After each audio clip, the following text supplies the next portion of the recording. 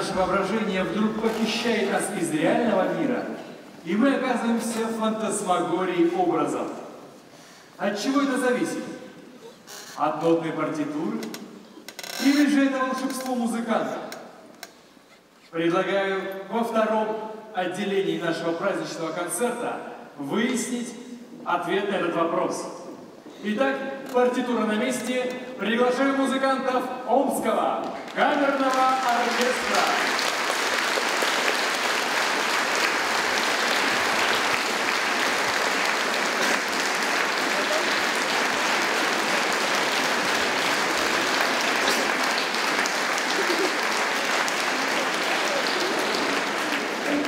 За дирижерским пультом Рустам Дельмухаметов.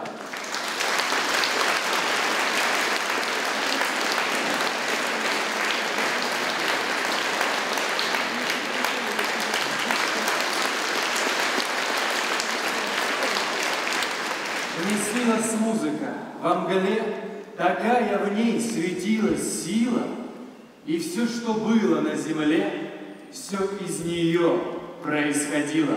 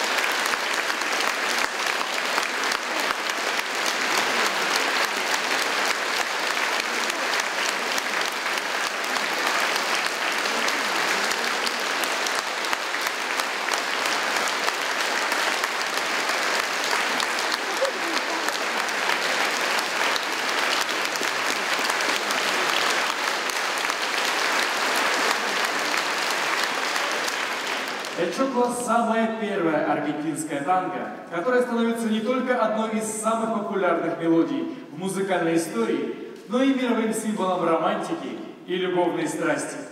Именно по этой причине в России был запрет на его публичное исполнение с 1914 года и на долгое время.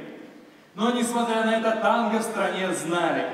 Уважаемая публика, подскажите, в каком варианте оно звучало на всех советских магнитофонах? Совершенно верно. На Дерибасовской открылась пивная. Стиль популярного ныне шансона. Внимание на экран. Открылась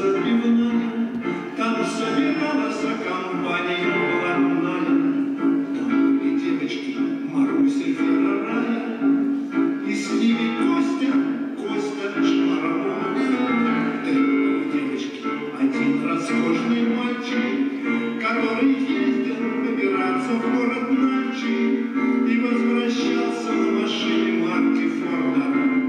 И шил костюмы элегантнее, чем у лорда.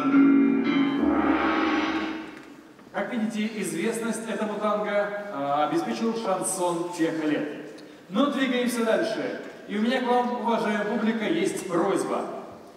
В этот юбилей пожелайте нашим музыкантам, чтобы следующий шедевр они исполнили на его исторической родине. Пожелаем, и пусть сбудется!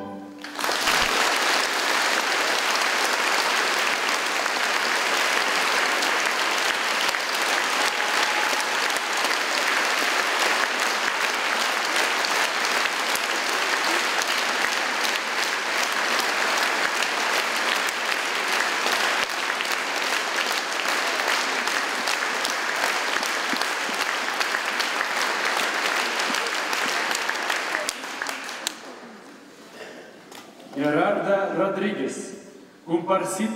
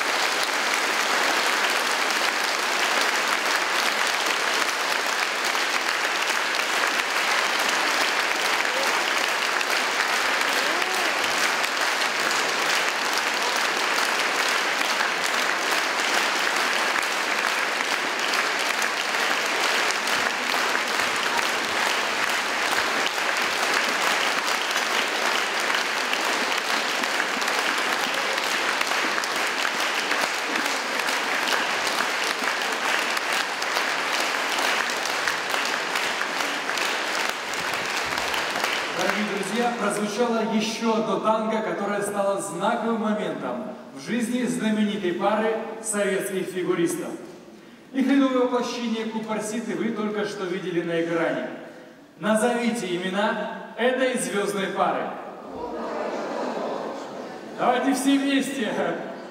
Кто знает? Все верно.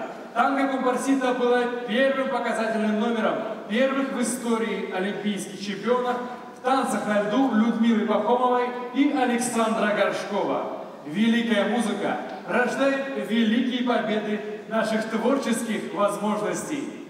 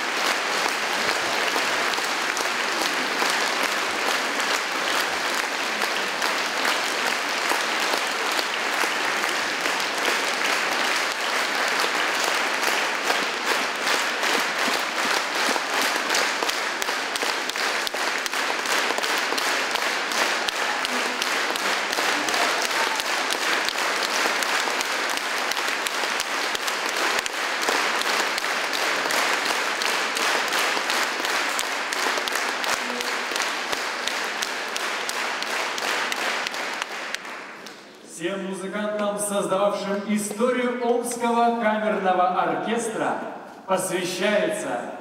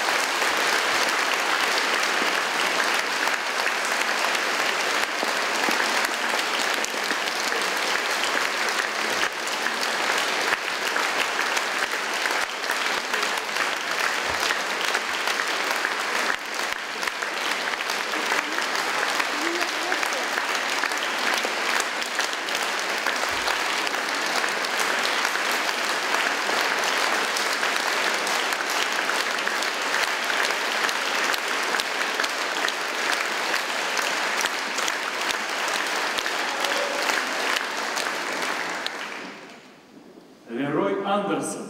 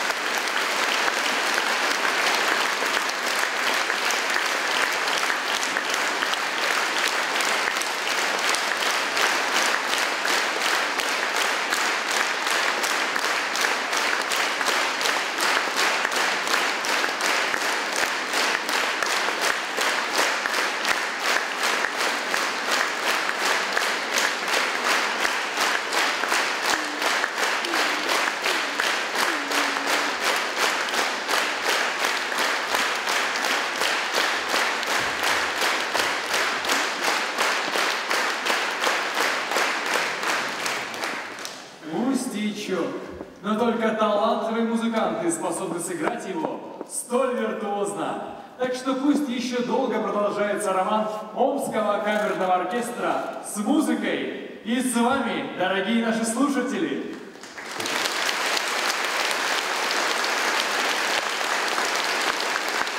От имени всех музыкантов с благодарностью к вам обращается руководитель Омского камерного оркестра, заслуженный работник культуры России Вениамин Ренкончинский.